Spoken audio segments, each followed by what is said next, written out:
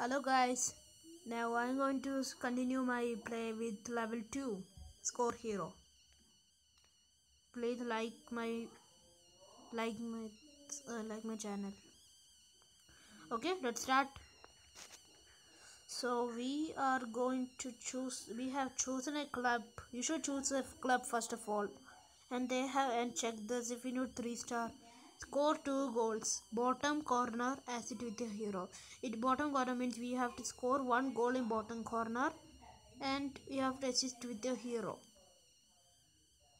Okay, and this is the bottom corner. Yes, alright. Okay, and this is assist with the hero.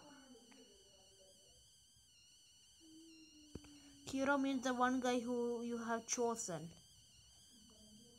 And you can write your name, your name. Okay. So, um,